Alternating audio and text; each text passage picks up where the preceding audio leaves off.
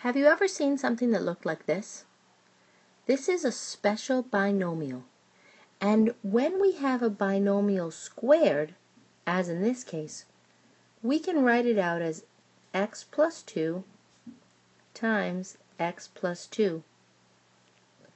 The products of binomials like this one end up with a very special answer. First, let's multiply this out. We have x times x, which is x squared. We have x times 2, which is plus 2x. We have 2 times x, which is plus 2x. And we have 2 times 2, which is plus 4.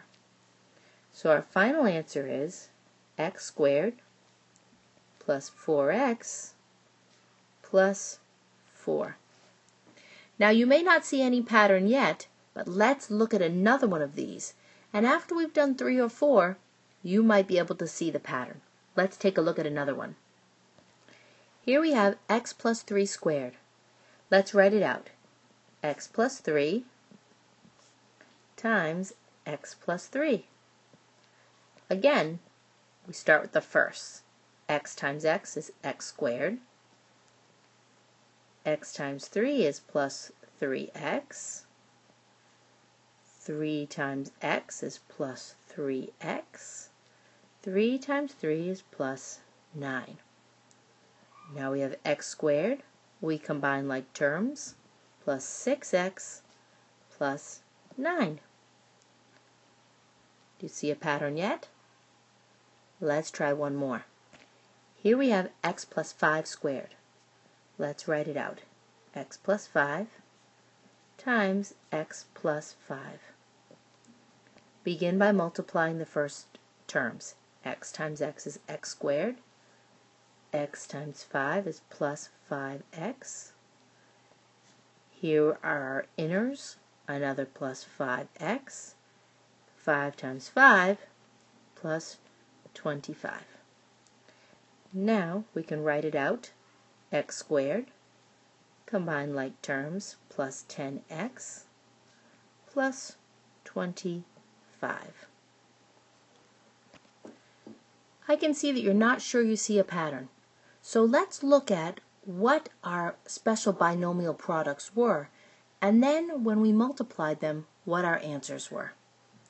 First, we had x plus 2 squared, and that became x squared plus 4x plus 4.